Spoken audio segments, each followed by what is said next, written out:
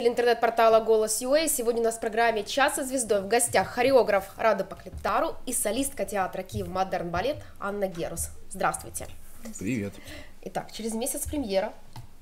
Я так понимаю, на каком ритме сейчас работаем? Э, ну, учитывая, что э, у нас еще и завтра премьера в нашем театре, то ритм э, очень плотный. Завтра состоится премьера спектакля «Пробегая жизнь». Угу хореографа Артема Шошина и артиста нашего театра, вот, где занят и Анна тоже. Вот, так что мы работаем в очень усиленном электрографике. Так еще, помимо всего прочего, до нашей премьеры «Это Жизели», которая состоится 9-10 апреля в Жафнео, у нас еще две недели гастролей в Голландии. Так что все очень плотно.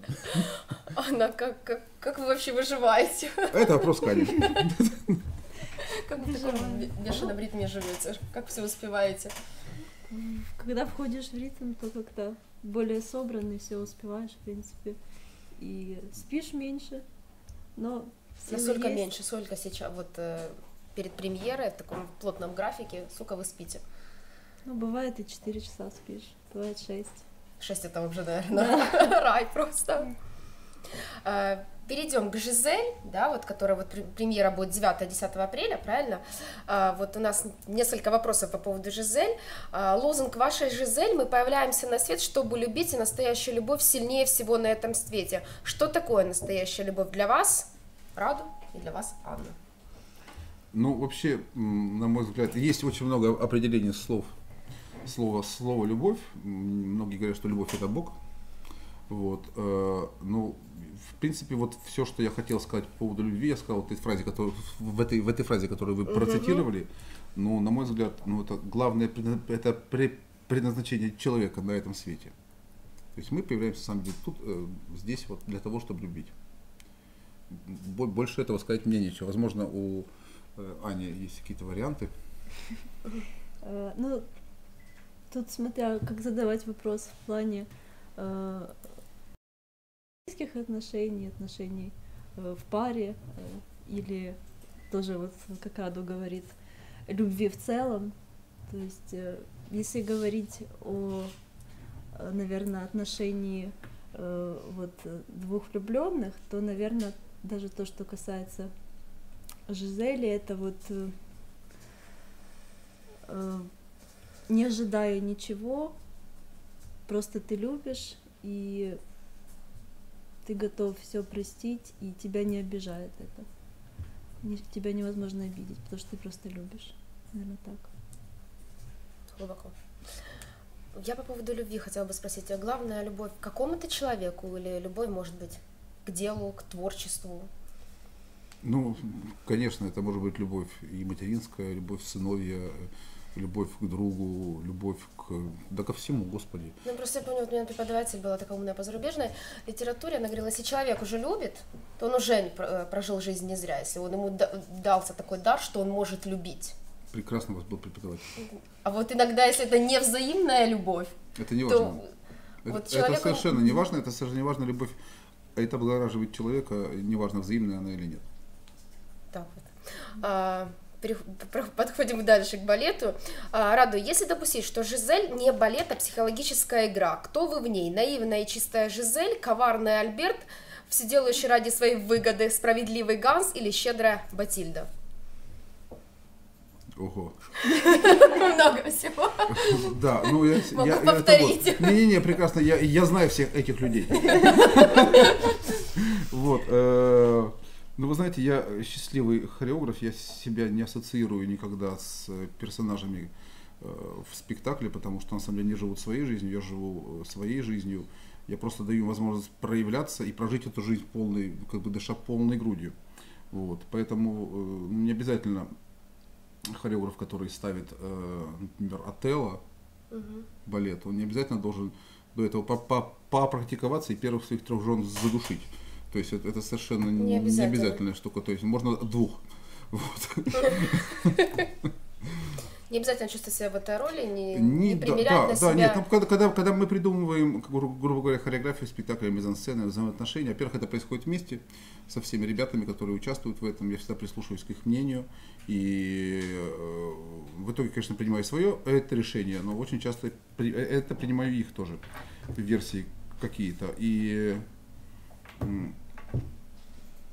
это процесс, который, в который ты вовлечен, но ты не ставишь себя постоянно на месте одного и того же персонажа.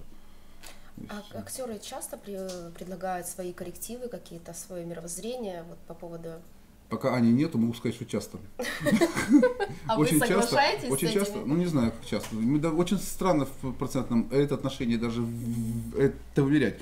Я знаю, что я когда работаю с артистами театра Киев, это модерн балет, то, э, грубо говоря, их идей, их каких-то находок, их предложений намного больше, чем я, когда я работаю с другими балетными трупами, какие бы они статусные не были. Потому что вообще в балетном мире не очень принято перебивать хореографа и предлагать что-то свое. Э, да, они стоят и слушают, и показывай нам что-нибудь. И неважно, Большой театр, Мариинский или Гранд Опера или так далее, все, они просто стоят и ждут, когда ты их научишь делать что-то. У нас же нет, у нас же бурлит какая-то творческая энергия, какие-то предложения и так далее. Они не исключение, очень много предлагают. Вы предлагаете, да? Хотела уточнить у вас. Вы предлагаете или все-таки как станок там делает то, что надо? Нет, предлагаем. Мы упрямые. Добиваемся иногда упорно. Сколько раз вы предлагаете? Или настаиваете на Нет, ну просто творческий процесс, если у тебя возникает какая-то идея, то ты предлагаешь, если ты смотришь со стороны и тоже видишь, что можно пробовать по-другому, оно может работать, ты можешь предложить этот вариант, и можно попробовать, если это и вправду работает, почему не оставить? Э, могу сказать, что вот, да, более кон- конкретный это пример. Я, мы ни в коем случае с Аней не будем рассказывать, про что наша Жизель. Вот, так, в всяком случае. Э, мы, мы Я это хотела не, спросить. Не проговорили заранее это. Э, но во втором акте есть трагическая сцена Жизели и Ганса, которой на самом деле нету в классической версии. Они там не встречаются во втором акте. У нас они более чем встречаются.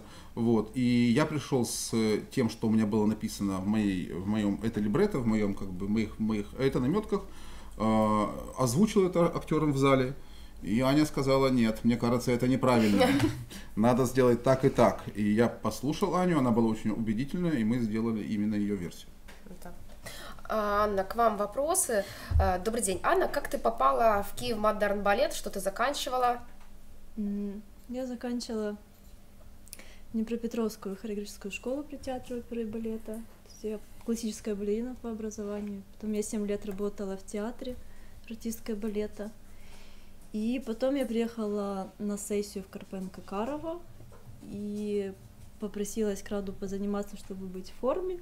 Увидела этот э, театр, влюбилась в него, и буквально на днях проходил кастинг, и я решила попытать счастье будучи вдохновленной, я даже не столько думала, что я хочу прям туда попасть именно в театр, потому что я работала в театре уже, сколько мне было вообще интересно, смогу ли я вот сделать так, как это делают ребята, которые были тогда в театре.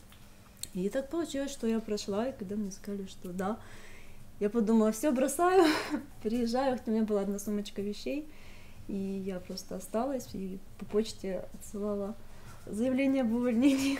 Так вот. Ну, все равно стоит вопрос, ты не жалеешь о своем решении танцевать ураду? Нет, не жалею абсолютно. И я думаю, если бы я э, тогда не попала к Раду, я бы уже очень давно не танцевала, лет восемь, наверное, я бы точно уже не танцевала. Поэтому Раду как бы дал в этом плане второе дыхание. И танцую я только благодаря этому, наверное, сейчас. Раду чем вас покорила Анна? Вот какие творческие у нее данные? Тогда или сейчас? Не уточняю. Можем, можем и тогда, и а, сейчас, у нас времени много. Ну, могу сказать, что это вот, что э, у меня достаточно, э, это избирательная память, и я очень плохо помню, что было много лет тому назад. Сколько, сколько лет ты уже в театре? Театру 10 будет? Да. Где-то 9 с половиной. 9 с половиной лет. Вот. Э, и поэтому я не помню самого момента кастинга, я не помню, как, как мы встретились. И сейчас могу сказать, что удивительным образом э, из человека, который вот пришел незаметно в театр, она преобразилась, как, не знаю, волшебная птица Феникс, преобразилась в нашу солистку, ведущую балерину, И на, в принципе, на ее вот этих хрупких это плечах сейчас э, лежит весь этот репертуар нашего театра. И это и Кармен, это и э, Адилия, и Адетта, и Маша в Щелкунчике. И все не перечислить даже. То есть, ну, все, Все. ведущие, все ведущие партии, которые есть у нас, э, все есть в репертуаре Анны. И, конечно же, когда я, я за- задумал, э, задумывал свою это Жизель, э, это происходило в Голландии, я писал это либретто, прошу не смеяться, я не употребляю наркотики, вот, э, э, и э, когда я думал про этого персонажа, то вот передо мной стоял вот в моих мыслях портрет Анечки. Так что если, если будет странный персонаж, то это не я виноват. Таня виновата. А, Анна, кто твой любимый партнер в театре?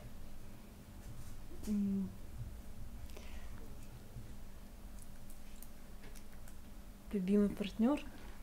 Ну, естественно, что ну, не сказать Алёше Бусько нельзя просто, потому что это человек, который, я не знаю, что бы ты ни делал, он тебя никогда не уронит, упасть невозможно просто. Э, И можно станцевать любой, по-моему, спектакль вообще без репетиции уже, как бы. Э, Очень люблю танцевать с Димой Кондратюком, очень бережный партнер, очень актерский такой многослойный, насыщенный. Это всегда можно сделать потрясающую какую-то импровизацию прямо на сцене, что ты понимаешь, что человек с тобой в контакте в полном. Э, Вот, ну, Сережа Кон у нас в этом уже не танцует в этом сезоне, но вот выходили на сцену, было очень приятно выйти и тряхнуть стариной дуэте. Да, а с остальными ребят сейчас много новых, пока не, не могу сказать, потому что не настолько еще станцевались, не настолько Тут есть выходили. дальше вот вопрос от других Мгм. э, читателей. Аня, ты не хотела бы стать в пару с Илюшей? Вы хорошо смотритесь вместе, два секс-символа. Ты черненький, а он беленький. У вас бы Получилось бы. Что получилось бы не написано. пошла жара. Мы с Ильей танцуем в долгом рождественском обеде, выходим вместе. Ну, ну, я, не, я не знаю, я не могу сказать, потому что еще нет такого опыта э, в плане партнерства. То есть где-то, да, мы выходили уже вместе, а там это творческий процесс. С кем назначить, с тем танцуем. Илья, кроме всего прочего, Илья только что пришел в театр, и у него еще нет столько партий, чтобы... Ну, каждый ввод в ведущую партию, это, ну, это реально не, месяц надо поработать. А он работает только всего ничего. Так что все, все, все впереди. А, Рада, вы как-то говорили, что планируете к десятилетию театра серию мастер-классов от своих артистов. Вы отказались от этой идеи или нет? Я не помню, чтобы я это говорил. Я могу рассказать, я, я могу рассказать, что это вот, что, что мы, мы планируем и десятилетию театра. Ну, э, в первую очередь, конечно же, э, первой ласточкой это, это наш, наш, наша премьера. Э, это Жизель. Она немножко загодя происходит, не, не совсем в десятилетие, но 10 лет это для театра современной хореографии, который изначально был частным театром, то есть это не государственное большое какое-то это мероприятие, это достаточно большой срок. Поэтому мы э, пл- планируем, естественно, посвятить нашу Жизель десятилетию театра. Не факт, что это будет последняя А когда премьера. ровно 10 лет театру? 24 октября будет, 24 да. Да? Ну, Да, где-то да. 24 25 Мгм. Это э, 10 лет назад. Мы, мы, мы меряем наш возраст со дня премьеры балета «Кармен». Ага. Вот, то есть не со дня под- под- под- подписания там ста- статута или каких-то там документов, не со дня э, регистрации э, юридического адреса. Мы все-таки творческий коллектив, и первый наш выход на сцену это была Кармен. Э, 9-10, естественно, состоится э, Жизель, и это э, э, замечательный повод, чтобы начать праздновать десятилетие.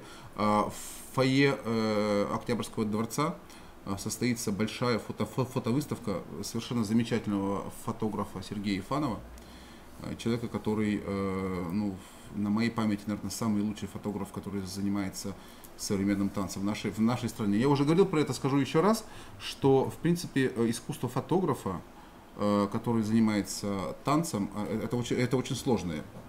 Это искусство, потому что, он, например, снимать класс- это классический танец очень тяжело, потому что это быстро. То есть движение очень быстрое. И, а снимать современный танец вдвойне тяжело, потому что это обычно быстро, да еще и темно. Вот. И э, Сергей настоящий мастер. И это будет не только выставка, посвященная спектаклям, это будет выставка, как бы вскрывающая чуть-чуть э, закулисную жизнь театра. И, возможно, это будет это интересно.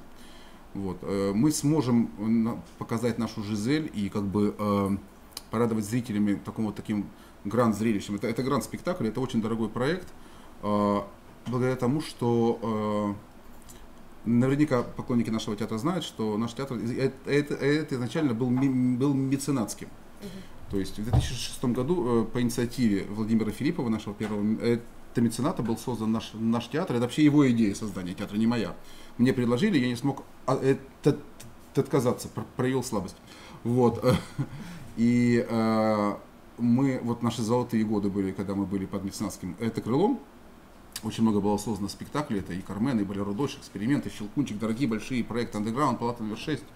Вот. Э, с той поры, как в 2009 году, к сожалению, Владимир Анатольевич не смог с нами больше сотрудничать, потому что это был кризис. И, ну, несмотря на это, он наш большой друг. Вот он буквально завтра будет на премьере «Это пробегает жизнь» Артема Шошина. Вот. И я все это время искал мецената. Я счастлив, угу. что к десятилетию театра я могу сказать, что мои Хорошо. поиски за, за это завенчались, это увенчались это успехом. И сейчас с нами рядом э, совершенно замечательный человек, ценитель искусства, бизнес-леди Людмила Терусалина и ее компания «Статус», которая полностью взяла на себя финансирование всей Жизели. Это очень дорогой проект, я вас это уверяю. Я был уверен, что в очередной раз это будут мои личные деньги. Это такой странный хореограф, который ставит балеты за свои деньги. Вот. Но я счастлив, что у нас появился человек, который понимает, что будущее и, и это, это возрождение вообще э, Украины в новом виде, это в первую очередь возможно только благодаря тому, что будет активная поддержка культуры. Без этого иного пути нет. Все это замечательно. Антикоррупционные комитеты, э, меняем милицию на полицию но и так далее. Но, но если не будет поддержки культуры, это не даст никаких э, результатов. И то, в какой стране мы, мы будем жить, в какой стране будут жить наши дети, внуки, это все зависит от того, насколько больше, э, это, это насколько много, много внимания на данном этапе мы будем уделять культуре. И это не мои слова, это слова Людмилы, это Владимировны. И я счастлив, что такой человек появился с, с нами рядом. Длинно говорил, как я, да? Да, много. А, Аня, что делать Раду Поклитару, чтобы удержать в своем репертуаре такую солистку, как ты? Ничего. Держу ее просто. Держите.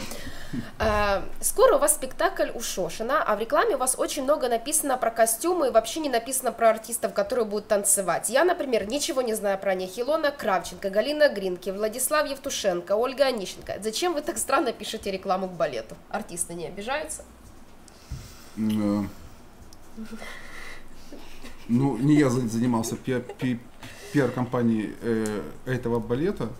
Э, вопрос еще в том, что э, очень, это вот в этом, в этом спектакле занято очень много людей. Артем очень много привлек это людей, которые не работают в театре Киев Модерн Балет. Это и э, учащиеся э, кияночки, правильно? Ну, Илона. Илона, ну тогда еще была учащиеся кияночки. И артисты балета, э, это классической, это труппа, это муниципальной, это оперой. Возможно, с этим связано. Mm. Но вы не вникаете вообще вот в рекламу, вот как она делается. Ну, я стараюсь, конечно, знаете, э, я просто думаю о том, что, о том, что э, творческая энергия человека, она э, все равно лимитирована. Да? И, и если я полностью погружусь в подробности рекламы, количество выходов, сетилайтов, выходов в метро, э, спонсоров, логотипов, их, я просто погибну. И я приду в зал вечером, и я буду, человек, я буду человек логотип. Вот, а я должен быть человек-хореограф. Каждый должен заниматься своим делом. Э, Анна, в свое время народная артистка сказала, что в вашем танце о вашем танце такие слова Анна Герус. После ее танца я влюбилась в Фебису Чавелу Варгас в балеро. Она танцует очень сексуально. Как, по вашему мнению, сексуальность это врожденное качество танцовщицы или его можно наработать при помощи тренировок? Я, наверное, если честно, вообще не совсем понимаю, что такое вот ну, сексуальность на сцене ну, зависит от образа, смотря какой это образ. Где-то это уместно, где-то это вообще будет неуместно. Поэтому это тяжело сказать. И, наверное, для каждого в этом будет свое, что он находит вот, сексуального э, в данном исполнителе. Поэтому я не знаю, как ответить на этот вопрос. Я могу, я, я, я, я могу добавить. Я, нет, я, я могу добавить, что меня бы насторожило, если я зашел бы в зал, в балетный, а там э, артистка театра Киев, Киев Модерн Балет работает над своей сексуальностью. Это, это, очень, это было бы очень странно. Чем занимаешься? Работаю над сексуальностью. Анна, представьте, что вы одна на пресс-конференции, Раду где-то задержался, ответьте честно, как сторожил театра, какой состав артистов был самым сильным? Самым сильным? Тут, э, ну, тут сложно сказать, потому что, ну, лично мое мнение, что все спектакли, которые ставились, э, ну, там, скажем, э, с предыдущими составами, с первыми, те спектакли, ну, лично для меня были ярче, наверное, с тем составом. А те спектакли, которые ставятся сейчас, они, конечно, очень хороши с артистами, с которыми сейчас они совместно ставятся.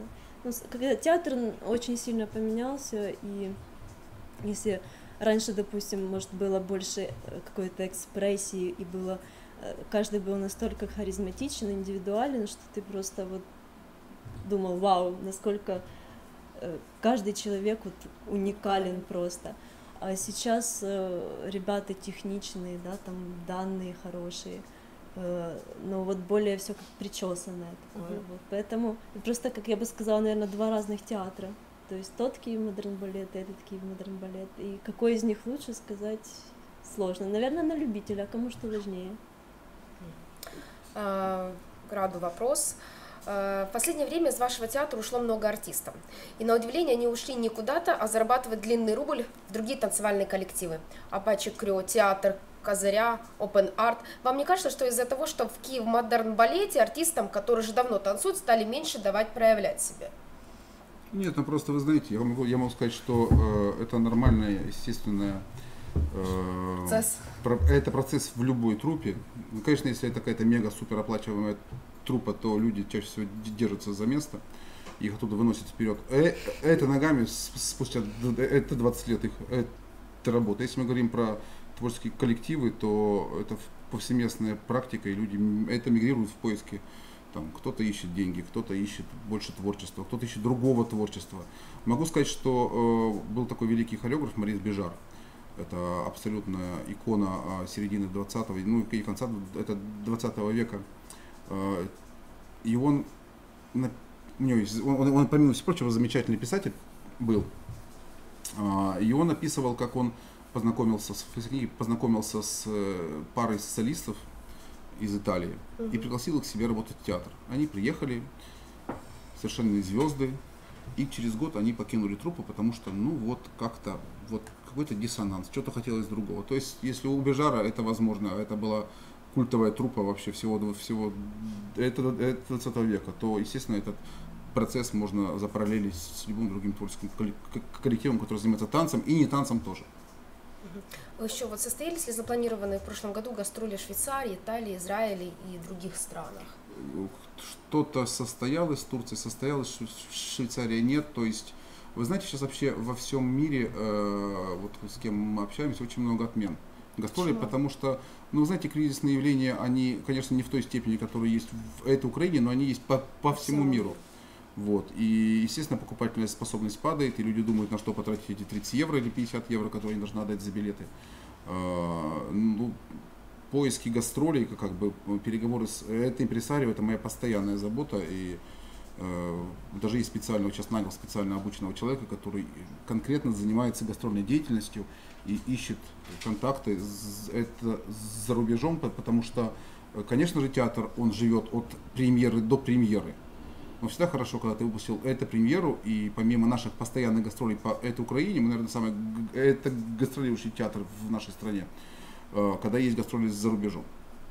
Но могу сказать, что вот сейчас вот э, с процентной вероятностью 99,9 это процентов Бельгия, это, это Люксембург и Голландия, которые вот это намечено буквально через несколько дней, они состоятся. То есть, если не произойдет какой-то супер форс, это мажора. Есть еще и, и дальше какие-то гастрольные. Сколько выступлений даете вот за границей? Вот вы приезжаете, это одно выступление, не веду, это несколько? Не веду статистику. Ну, можно, можно приехать на, на фестиваль, там, не знаю, в Турцию и дать э, два спектакля, а можно по поехать, там у нас бывали гастроли в Голландии, я насчитывал до 20 щелкунчиков, то есть, ну, это нету системы. Вот вы уезжаете сейчас в Люксембург, вы сказали, да? И... Да, это, это очень, очень, очень небольшая гастрольная поездка, всего 4, 4 это спектакли и 3 страны. Это все очень близко, это не, это не, не ну Украина. Да. Нет, это размерам. понятно, там совсем другие размеры, да. там быстрее можно добраться в другую страну. И там дороги лучше. Быстрее. И театры. А, тут такой финансовый вопрос. Хотелось бы спросить о таком. Вот э, от вас часто можно услышать, что ваши артисты мало получают, около 110 евро. Но некоторые из них, к примеру, ваш солист Артем, могут себе каждый год позволить довольно дорогой отдых на Гуа, в Испании, Франции и других странах. Откуда тогда деньги на такие ежегодные путешествия? Вы не против того, что если ваши танцоры где-то еще подрабатывают? Никогда не против. У нас практически все, наверное, это работают. Ну, ну большинство имеет какие-то подработки. Мне кажется, было бы совершенно не тактично спрашивать, а, у тебя новая машина, где ты деньги взял? Ну, слава богу, есть деньги, есть. Нет? Нет, это хорошо. Было бы, это, вообще глупо считать в чужой доход. Ну да, я считаю, что это неэтично, скажем так. Не считайте чужой доход. Тут такой вопрос. Уважаемый Рада, в октябре месяце пресс-секретарь вашего театра Наталья Рудник, я так уже думаю, понимаете, о чем будет вопрос, в офіційній групі вашого авторського театру дала публічне заявлення. Прошу пробачення, що зараз прокоментую все вище сказане, але є такі штуки, як чорний піар. Це все для того, щоб пробудити соціум, меценатів і політиків, які байдужі до культури. На жаль, тому нашою командою це було зроблено преса від Пресса відреагувала и лише. Вопрос в следующем. Действительно ли ваше заявление о закрытии театра в 2013 году было черным пиаром с целью привлечь внимание к театру, как заявляет ваш менеджер? Если нет, то почему, с какой целью она делает публичные такие заявления? Я могу сказать от своего и личного это имени, э, что когда, когда вот, это был, по-моему, 2013 год, да, Лебединая? Э, 13 того дата написано. Я совершенно, я был в совершенном отчаянии, потому что из театра это уходило из 21 9 человек. Ну, это реально, это, Это очень, такой- это, это, ну, это был почти крах половина. всего э, т- т- репертуара. Я был это настроен э, крайне пес- пессимистично, и тогда э, совершенно не получилось у меня диалога с министром культуры тогдашним э, господином. Это Новохатько, он человек такой ста- старой закалки, и я, я, я чувствовал, что никакого движения навстречу у меня просто, ну просто его нет. И поэтому э, я очень устал тогда это бороться за театр, за его существование. И э, заявление было сделано совершенно искренне. То есть это не было ни Потом, черным э, пиаром, Ну, черный пиар и я такие вещи несовместимые. Вот. А э, прошло лето. Мы все отдохнули. Я тоже. набрали сил. Набрали сил. Наступил сентябрь месяц. И я вдруг понял, что ну, самое простое, что можно сделать, это закрыть театр. И мы сделали еще одну попытку, провели кастинг, набрали новых 9 человек, и вот они, не даст мне соврать, мы не вылезали из зала, мы просто восстанавливали весь этот репертуар. И когда мы там, не знаю, поставили щелкунчик, так вот расставились, кто где есть на своих это местах, я так смотрю и вспоминаю, по-моему, это из это Руслана и Людмилы, да, «О поле, кто тебя усеял мертвыми костями». То есть спектакля не было вообще.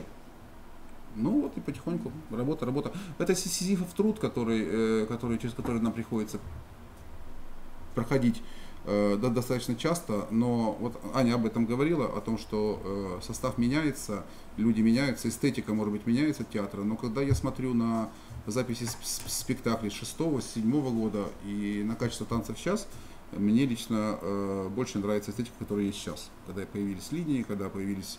э, ну, мне, вот, меня трогает сейчас больше. То есть мне кажется, что труппа очень, очень выросла. То есть годы. театр, я так понимаю, не может стоять на месте, он должен развиваться и какие-то новые коррективы вносить. Вот. Ничего в этой жизни не может стоять это на месте, кроме, кр- кроме памятников. Так вот. И то в нашей стране, видите, постоянно что-то. Если бы Исчезает. тогда вы закрыли бы театр, чем бы вы занимались? бы? Никогда не отвечаю на вопросы, в которых есть это частица бы. Если говорю, если Ну, бабушка была бы дедушкой, да. то это была бы совершенно другая сказка.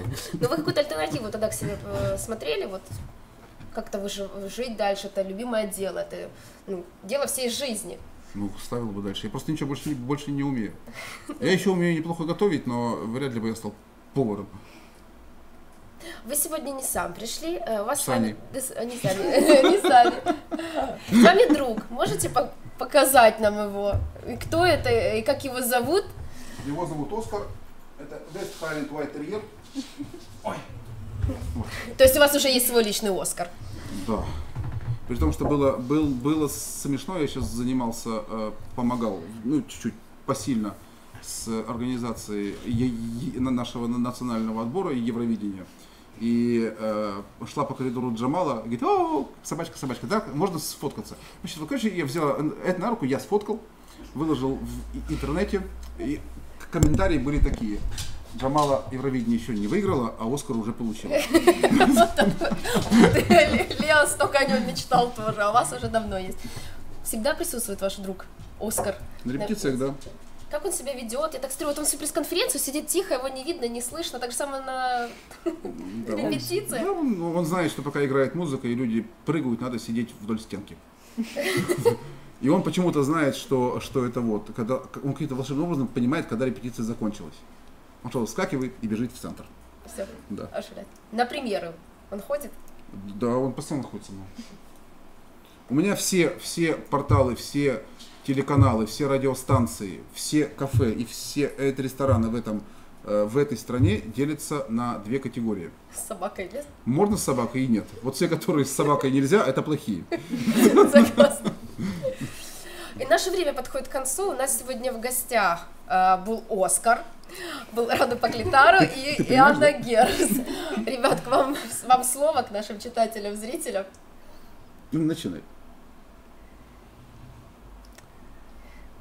Приглашайте. Всегда, всегда, я, я, я, я почему, я, я почему перевожу, перевожу это стрелки, потому что я, я ненавижу при, прямую речь без это вопроса, говорят, да, пожелайте что-нибудь нашим читателям. И все, у меня ступор сразу. Поэтому, Анечка, давай, Приходите в театры, интересуйтесь, интересуйтесь не только танцем, интересуйтесь разным искусством. Это обогащает, это помогает в жизни. Э, и я думаю, что даже благодаря этому многие жизненные ситуации э, вам будут как-то проще понять и решить. И это важно для жизни, это важно для вашего личного роста. Поэтому приходите в театры и развивайтесь. Можно добавить? Конечно. Да. Спасибо большое, до встречи.